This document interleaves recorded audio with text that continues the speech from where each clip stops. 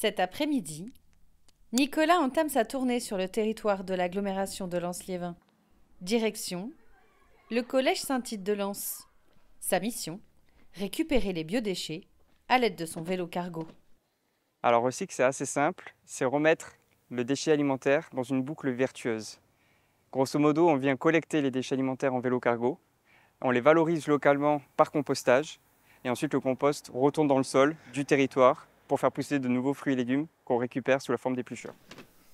Chaque récolte est soigneusement pesée. Oui, encore plus lourd. 25,5, ce qui nous fait 117 kg de matière organique.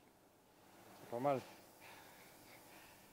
C'est euh, de la matière qui partira pas euh, en fumée dans l'incinérateur.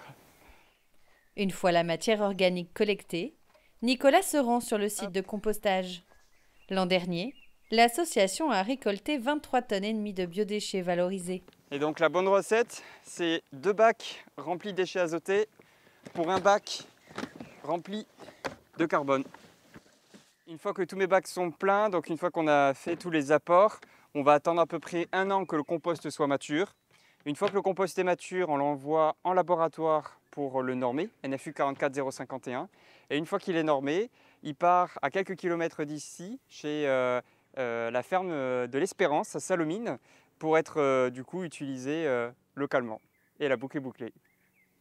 Subventionné par la CAL lors d'un appel à manifestation d'intérêt, Recycle intervient sur les marchés de Lens et de Liévin pour les particuliers.